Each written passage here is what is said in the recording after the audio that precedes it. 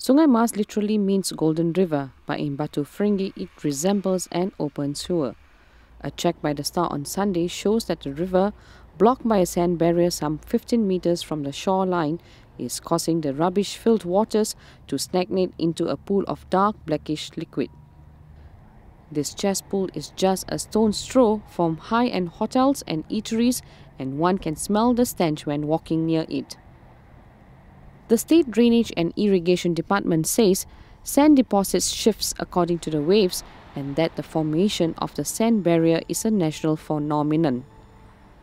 However, during heavy rain, the river will rise and break through the sand barrier near the shoreline. In a June 7 report, Sungai Mas and seven other rivers have been identified as having critical pollution levels.